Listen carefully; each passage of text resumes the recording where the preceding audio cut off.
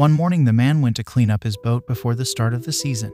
As soon as he took off the tarpaulin, he saw a small lump in the corner, and suddenly this lump began to squeak. My husband was cleaning the boat and found this lonely toddler. He brought it into the house, says Louise Schofield. In the city where the family lives, there is a colony of wild cats, and later it became known that the kitten they found was born along with his brothers in a garage near their house. The owner of that garage is a big fan of cats and regularly feeds the animals in the area. A few days after the kittens were born, one of them was found dead in the driveway. The owner of the garage immediately went to look for the rest of the kittens, but they seemed to have disappeared. As a result, no one could find the mother cat, and the man decided that she, along with the brood, died. This all happened just before the Schofields found one little kitten in their boat. People understood that if they left him, he would die. Therefore, they took the kitten to themselves and began to nurse. They kept him warm and fed him every two hours. We took full custody of him and became his surrogate parents. We gave him food, helped him go to the toilet, caressed him. In general, they did everything that his mother would have done, recalls Louise. The foundling was named Whisker. He now lives in a family where there are three more cats, which, by the way, the Schofields also saved.